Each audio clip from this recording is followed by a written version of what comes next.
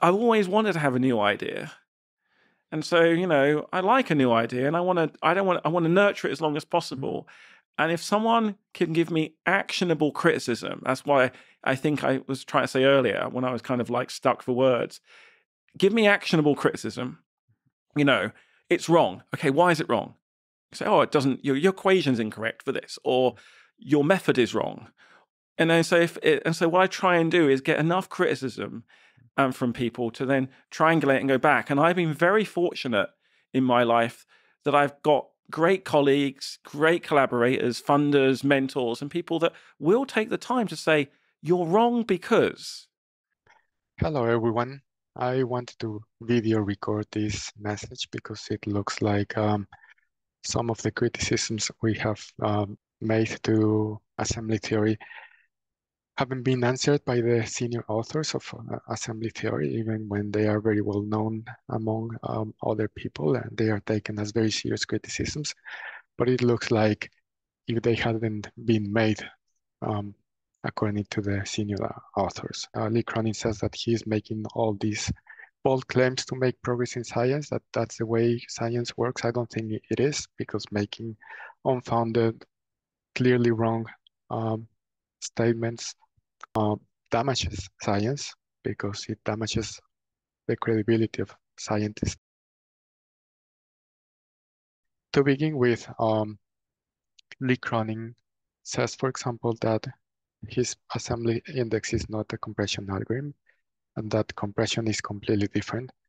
Assembly index, according to him, looks at how an object may have causally been generated, been lecturing for many years, including at the Santa Fe Institute, on how Kolmogorov complexity is a measure of causality.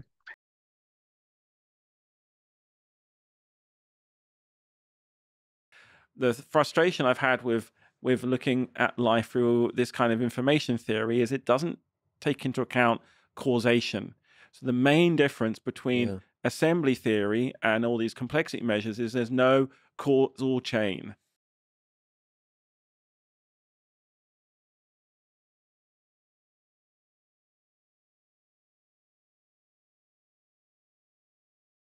Start here. Let's just take abracadabra. I'm going to give you the letter A, B, C, D, and R. Please make abracadabra on a graph, a graph by using the letters one at you, going one at a time, and you can reuse any memory on the graph. So you go A, B, R, A. So you make abra, and when you go on, you're like, you've got abra on that graph. You've made it. You somehow have a memory of abra, and then you go down and you make abraca, and you're like, oh, I've made the abra before. I don't need to spell it out again. I just add it on. So it's not compression like Huffman encoding. It is actually built, okay, uh, from understanding you have an object at a beginning and you do things and events happen and there is a memory trapped on that line. And that is assembly theory. It's not hard.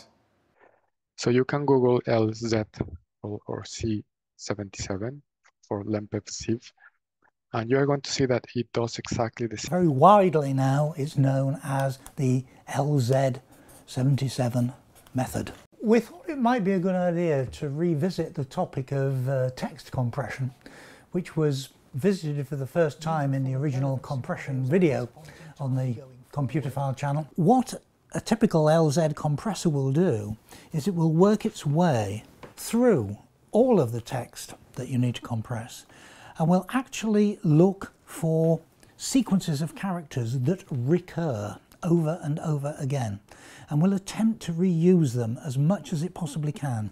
Here we've got the word computers, eight characters, but the compressor could remember that it has seen that string of characters already as a subset of the string Computerphile. And you can even Google the same word that they like to use abracadabra. That's their favorite example. And you can see that actually this is a homework assignment for any computer scientist um, undergrad to implement some sort of um, automaton to implement a compression algorithms like LZ77. And it is exactly the same ex example that Cronin and Walker give in their many papers. We already think we can do assembly theory on language. And not only that, wouldn't it be great if we can so the if we can figure out how under pressure language is going to evolve and be more efficient. And when I say it is it is the same, I mean exactly the same step by step. Okay, so it is about traversing a piece of data, usually string. You go from one side to the other one, looking for every letter, and it can it can be anything else. It doesn't have to be a letter, obviously. So this algorithm is used, for example, a version of this algorithm is behind algorithms like gzip that everybody uses to compress compress anything, compress images, compress sound, video, anything. So you can feed a compression algorithm anything. LZ77 basically traverses a string, looks for repetitions and replaces those repetitions by pointers so that it can be replaced. Um, and, and we know that that object has been repeated before. So basically it counts the number of copies, what the assembly index is supposed to do and does it exactly the same as LZ77. Greg, the world is complex. I want to. You bet it is. I want to understand the world, and so I got to understand complexity. You've come at this problem very differently. You talk about algorithmic information theory, and you've created this concept of omega that really has had some significant impact on how we think about complexity. So um, in other words, the way I would put it, using um, my area, which I call algorithmic information theory, is understanding is compression. This is my big slogan. Understanding is compression. To understand is to compress. Now, let me explain what I mean. I'm talking about understanding in physics. It seems to me that the most important discovery since Gödel was the discovery by Chaitin, Solomonoff, and Kolmogorov of a concept called algorithmic probability, which is the fundamental new theory of how to make predictions given a collection of experiences. And uh, this is a beautiful theory. Everybody should learn it. And, but it's got one problem, which is that you can't actually calculate what this theory predicts because it's too hard and uh, requires an infinite amount of work. Uh, however, it should be possible to make practical approximations to the Chaitin, Kolmogorov, Solomonoff theory uh, that will make better predictions than anything we have today. And everybody should learn all about that and spend the rest of their lives working on it.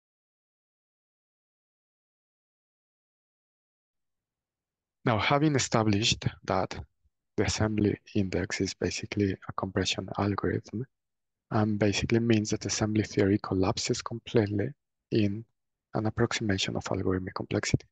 Now there's an, in, a new thing we've introduced called assembly depth. Hmm. And assemb assembly depth can be lower than the assembly index for a molecule when they're cooperating together because exactly this parallel processing is going on. Mm -hmm. And my team have been working this out in the last few weeks because we're looking at what compromises does nature need to make when it's making molecules in a cell? And I I wonder if you know, I I'm maybe like well I'm always leaping out of um, my competence. so that tells you about the depth of that object in time. Mm-hmm. Well, is that we've just mapped the tree of life using assembly theory because mm-hmm. everyone said oh that you can't do anything in biology.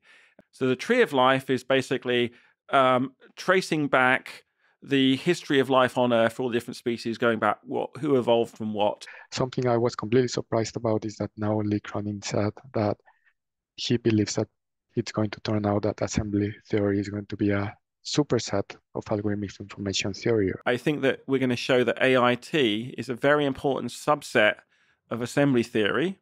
That makes absolutely no sense. It is actually the other way around, and I've been saying it for years. So assembly theory is what is called a resource-bounded measure of complexity, and it approximates of complexity. It is called resource-bounded because basically what you do is to re to constrain the resources, space, or time so that you can always have an answer back. And that is because they rightly say that Kolmogorov complexity is not fully computable. They say it is uncomputable, but it's actually technically more correct to say it is semi-computable because you can always approximate it. But if you always want your algorithm to return with a with an answer because the original algorithm may not always come back with the answer because it is semi-computable. Then you restrict restrict the resources, time or space, just exactly as assembly index is doing. They are restricting their measure to only count the number of copies of, of something. Um, because that problem is very simple, you guarantee that you can always come back with the answer. It is just about seeing repetitions in a piece of data. I think that we're going to show that AIT is a very important subset of assembly theory. An assembly index is not a superset of algorithmic information theory. It's actually a subset as a resource-bounded approximation to Kolmogorov complexity. Furthermore, assembly index is not even very powerful. Shannon entropy is the quintessential um, function for counting copies based on a probability distribution. That means that some sort of prior knowledge on how many copies you have seen before, and you adapt your function to how many new copies you see in the future. And Shannon entropy is also a subset of more of complexity because it is also some sort of approximation. So something that has low Shannon entropy means that also has low algorithmic complexity or low Kolmogorov complexity. But something that has high Shannon entropy doesn't necessarily have high Kolmogorov complexity because there could be many more things that just copies or simple copies of a piece of data. There could be reversions, there could be all sorts of things that are related to causality because you always have some sort of a, a small piece of data that you transform over time and then you keep track of all those transformations and that's actually the uh, definition of Kolmogorov complexity and that's why I I have been claiming for almost 10 years that actually Kolmogorov complexity is deeply related to causality, not assembly index, because assembly index is very lousy connected to causality because it only counts copies of things. And actually before I thought it was doing something much more interesting, which is nested copies, but it is not even doing that. It is just simple, straightforward copies, what is counting. And turns out to be actually that algorithm that I'm talking about Lempel Sieve 77. And again, you can just Google it and you're going to see on the screen that it's actually incredibly simple and exactly the same step-by-step -step that assembly. In the authors don't seem to understand um, that it is exactly the same. It is indistinguishable from Kolmogorov complexity and algorithmic information theory. The shortest path then says allows you to say, oh, this object wasn't just created randomly, there was a process. There's also this connection between the theory and the methods. The theory is basically just putting all these ideas, ideas from algorithmic information theory together. But the method is actually something simpler than Shannon entropy that was invented like 60 years ago. The same Lempel-Ziv was invented in 1977. That's where the 77 comes from. So these measures have been used for compression algorithms, exactly the same method, and even on bi biologically and chemical data. And actually, we did it ourselves almost five, five years before Cronin and Walker. Uh, they say that their most uh, impressive result is that they were able to separate organic from inorganic compounds. We did it ourselves five years before in the published papers in processing information letters. We didn't make so much noise because we don't like to make uh, unfounded um, claims what we found before is actually that it's very easy to separate these categories. But pretty much you can take any representation of the data, um, name it nomenclature or uh, molecular distance matrices that are very similar to the uh, mass spectra data that they use for the paper. And we showed that we were able to separate uh, the organic from inorganic uh, compounds. And actually, we did it on a very comprehensive database. So Cronin always comes back saying, oh, NASA gave us this uh, handful of um, compounds that we didn't know what they were about, and we were able to classify them correctly. But also, NASA gave us, I think, five samples. Mm-hmm. And they wouldn't tell us what they are. They said, "No, we don't believe you can get this to work." Mm-hmm. And they really, you know, they gave us some super complex samples, and we gave them back to NASA. And they're like, "Oh gosh, yep, dead, living, dead, living. You got it. That is not a very good proof because actually we did it on um, 13,000 compounds, in, if not, not mistaken. So basically, we took all the compounds that we found in our repository and we showed exhaustively and systematically that we were able to separate organic from not non-organic. Now he claims that um, it is uh, different because they are using physical data. What they mean by that is that they took uh, these uh, mass spectral matrices, which is just data, so has almost no difference to any other, and fed it to their algorithm. So we replicated the same in our criticism paper, and we show that actually any other statistical measure, including Shannon entropy and compression algorithms, could reproduce their results and even outperform them with some of them a little bit more sophisticated measures, some of which we have uh, proposed ourselves before. And that's because the world has moved on 50 years ago from uh, simplistic approaches to life or classification like assembly index. We found very early that just counting number of copies was very limited. Imagine you are just finding, for example, a protein that turns out to be reversed that you, you are reading in the reverse order, you would miss it as a copy, right? So we found ways to actually do much better with uh, more sophisticated uh, measures that are equally computable. Another thing that um, Cronin and Walker say always say is that Kolmogorov complexity requires a Turing machine. That makes absolutely no sense. It's like saying that because they measure and they perform all, all their calculations on a MacBook Pro, their measure requires a, an Apple computer. That's exactly the same kind of argument that they are using when saying that Kolmogorov complexity requires a Turing machine. And that basically speaks how unqualified they are to actually try to be making any of these contributions. Honestly, I don't think they have any idea of what a compression algorithm is when they say that, for example, a compression algorithm has instantaneous access to the memory and that's the way it compresses things. One big kind of um, uh, um, kind of misunderstanding is assembly theory is telling you about how compressed the object is. That's not right. It's a how much information is required on a chain of events. Because the nice mm-hmm. thing is, if in when you do compression in computer science, well, we're wandering a bit here, but it's kind of worth wandering. I think in you you um, assume you have instantaneous access to all the information in the memory. Yeah. In assembly theory, you say no. LZ seventy seven or GZIP work exactly as same assembly index. They traverse the object as they do, counting for copies exactly step by step. There's absolutely no difference um, identical copies. You can count them, and then you fragment them and you count the number of fragments. The argument about the Turing machine also immediately tells that they have no idea what is algorithmic complexity, unfortunately. I am a chemist. I also do computer science in my spare time, a little bit of robotics. Want to be physicist, want to be math- mathematician. But I'm an amateur philosopher. Oh, I think this is a copy number, the same string as carrying again and again and again. I, kept, I couldn't do the math. Mm-hmm.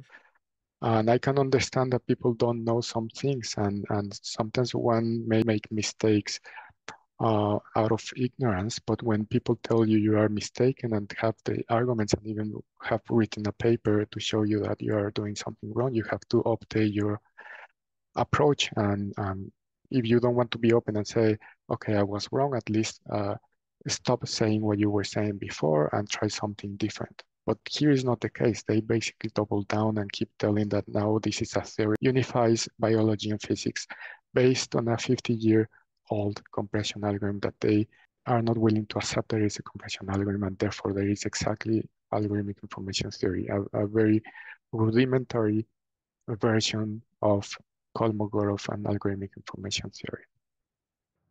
How is assembly theory or maybe assembly index different from Kolmogorov complexity? So for people who don't know, Kolmogorov complexity of an object is the length of a shortest computer program that produces the object as output. Yeah, I'm, I, I seem to, there seems to be a disconnect between the computational approach. So yeah, so a mm-hmm. Kolmogorov measure requires a Turing machine, mm-hmm. requires a computer.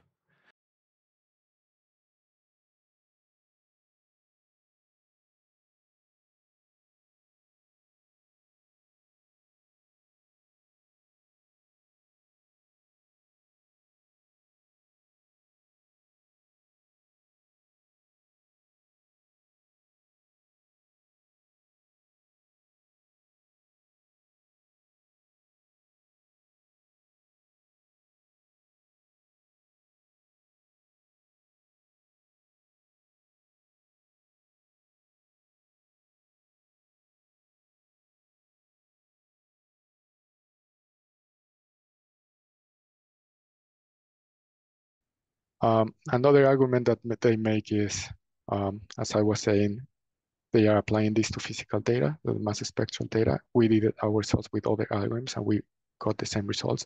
And as I said, we have done it on different representations of the same data and we get the same results. So when you are claiming that you have done something novel, you have to show that either the methodology or the data is different, but when you can reproduce uh, exactly the same results with any representations of data and any other uh, index that has been proposed before, obviously the claims about novelty are difficult to understand. Well, what about the criticism of you're just putting a bunch of sexy names on something that's already obvious?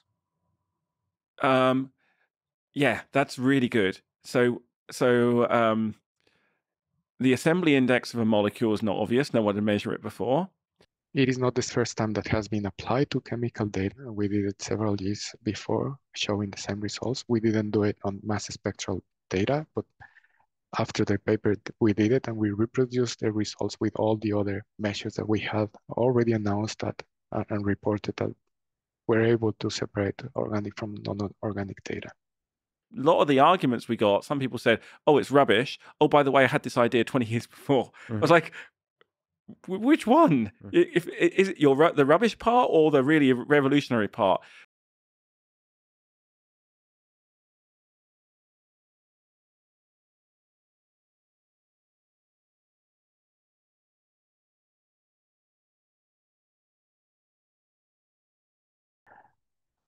So no new ideas in the theory side because they are indistinguishable from algorithmic information theory that has been asking about uh, minimal pathways and number of steps for the causal description and memory embedded in an object, exactly the same that assembly theory claims to be about. You can assume that most of the objects in the universe are built in the shortest, in the most efficient way the the so big leap I just took there. Mm-hmm. So the shortest path tells us something super interesting about the minimal amount of uh, information required. The method is exactly a compression algorithm that has a name and was introduced almost 50 years ago. And the application is not novel and taking any data representation and basically any weak statistical index reproduces that data. So really we don't know what is left to talk about. One minor thing that people are saying that perhaps is their contribution is this idea of a cutoff value, a threshold over which if you have so many copies, you are kind of alive or possibly a living system. That is not true either because if that is true, that is true also for all the indexes that we tested uh, before and they were able to separate the same data. So instead of talking about just 15 um, copies, you can just have a ratio of uh, compressibility or a minimum value of Shannon entropy. So the threshold value is really not important because it's not unique. But even if it were, it doesn't say much because non-organic and organic doesn't mean life or non-life. This is a very limited, narrow-minded definition of life that even a crystal can challenge. So I'm really, really sorry to say I don't find anything, any substance in assembly theory. And I'm just surprised of, of um, how the senior authors have been introducing what they claim are new ideas that seem to only serve um, self-promotion. Um, so really, really difficult to understand where their uh, motivation and how as scientists, they, they cannot take criticism seriously, answer the questions why they disregarded the research that has been done before, including our own paper where we show that we could separate organic from non-organic compounds.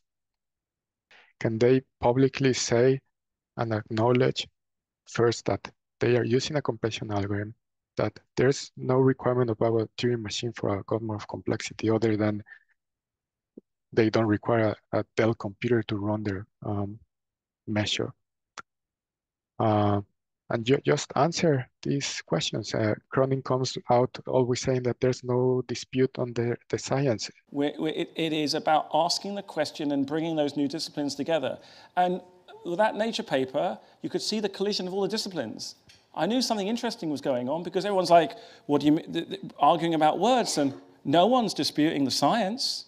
It is almost like gaslighting 24 7. They don't go into detail they don't answer the specific questions, the, the specific challenges, and they just keep saying we may be wrong, but actually we are unifying biology and physics and redefining life with no basis. You know, it has been criticized quite a bit, the paper.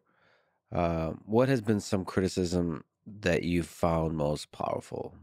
Like that you can understand and can you explain it? The yes, the most exciting criticism came from the evolutionary biologists telling me that they thought that that uh, it, it origin of life was a solved problem, and I was like, "Whoa, we're really onto something."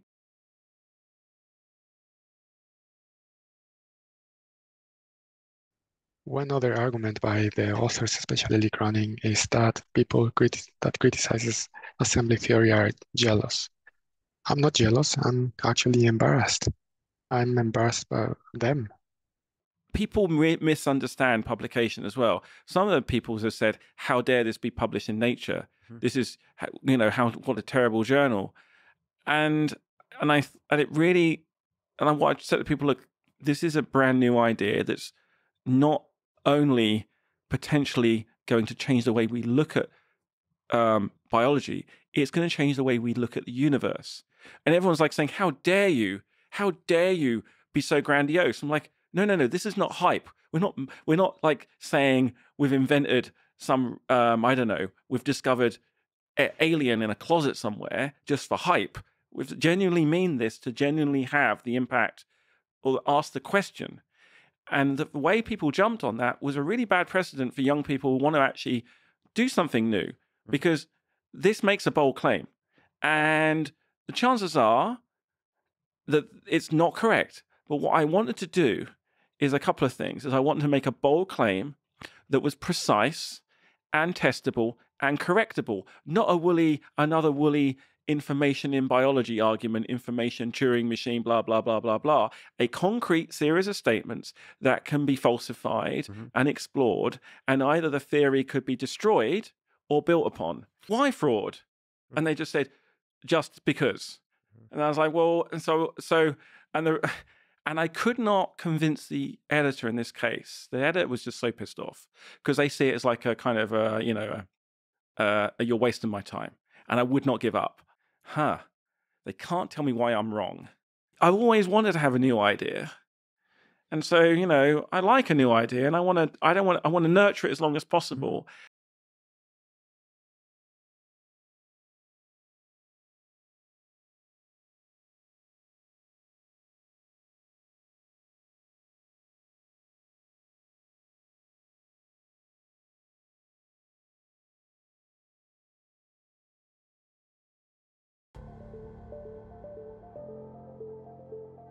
In movies like Tron or The Matrix, reality is composed of computer code, a digital realm perceivable to the enlightened.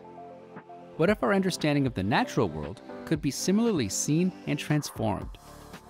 Algorithmic information dynamics is a new theoretical and practical framework for exploring the world as if seeing the world through Neo's digitally enhanced eyes.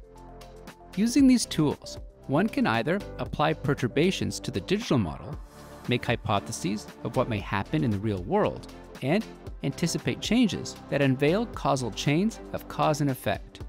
Or, one can apply the perturbation to the physical world, see how the digital hypothesis of that perturbation changes the digital model, and improve the correspondence to the underlying hypothesized mechanistic explanation. Scientists can move back and forth between the real world and software space to understand what happens behind each interaction, where each thing comes from, and how the mechanistic model works. As in The Matrix, where Neo manipulated digital reality, the theory adjusts to new computable models derived from the tools provided, and reveals possible underlying rules of dynamical systems and networks of interconnected cause and effect chains. Algorithmic Information Dynamics, published by Cambridge University Press, is a fundamental new way to see and explore the world, a hitchhiker's handbook for scientists and philosophers alike to deconvolute the complexities of reality.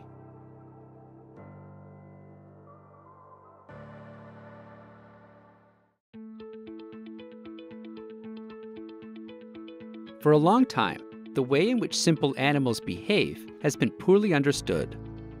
For example, it has been long thought that insects are unsophisticated. They do not process much information, they take decisions at random, and react to their environment in a very instinctive way without using any brain power.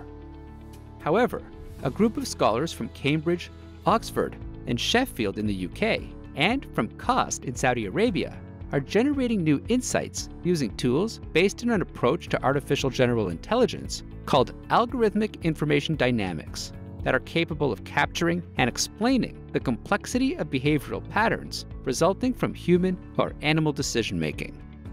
The results, for the first time, quantify previous claims regarding the capabilities of ants to communicate instructions to find food in a maze, confirming that food in locations that require more complex instructions to find do take longer to communicate. Validated that insects like fruit flies do use their small brain power to make decisions, even in the absence of external stimuli, in line with recent experimental research. And showed that some animals, such as rats, can outsmart predators by engaging in apparent random behavior on purpose as a strategy the results show that ostensibly random strategies are in fact not truly random, but instead may result from intelligent thought, as they display higher computational content than truly random. Ultimately, these results can find applications in the design of new cognitive strategies to improve applications of artificial intelligence, including generative AI and robotics or develop artificial general intelligence mimicking natural intelligence from insects to humans.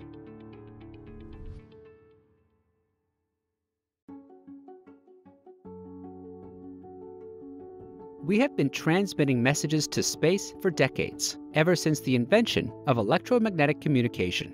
And in the 1970s, we even did so on purpose.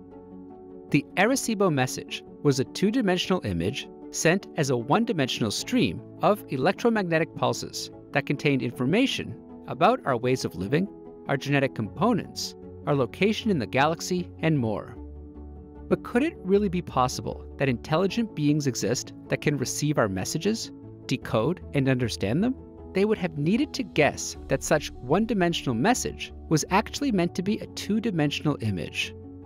To address these questions, Scientists have thought deeply about interstellar communication. They've been asking what messages should be sent, how should they be sent, and how might the receiver distinguish between an actual purpose sent message and space noise. This work has led to important breakthroughs. Previous work has shown that tools developed in the field of algorithmic information theory can be used to characterize complex objects from random and simple, and even distinguish between objects produced by intelligent life and those produced by nature.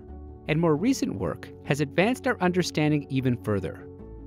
Recently, a team of scientists, led by a Cambridge and Oxford researcher, has found that in non random data, information encodes some of its physical properties, even in the face of significant noise.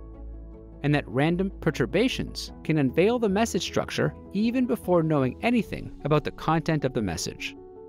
For example, one type of these perturbations is playing with the length and height of these images, even before knowing that it's a two-dimensional image or anything about their lengths, by traversing dimensions from lower to higher, starting from one dimension, then two, three, and so on. Turns out that the closer to the dimension in which the message was originally coded, if it was causally generated and not the result of randomness, it will have lower complexity and higher information content as opposed to look random in any configuration. The original embedded configuration, or a similar symmetric one, will display the lowest complexity and highest content. These advancements raise the likelihood that tools from the field of algorithmic information dynamics could be used to identify and possibly decode messages from afar. Moreover, they show that aliens with a basic understanding of the same fundamental mathematics would have some chance at understanding what we send them. And they increase our chances at understanding messages from alien sources, even if the message comes deconstructed and embedded in a different form, without information about its dimensions and proportions. This work has built a new connection between syntax and semantics that may help find bio and technosignatures in the universe. And it advances a theoretical and practical framework that relates information, complexity, geometry, and semantics that can be extended to multiple uses in cryptography and information theory.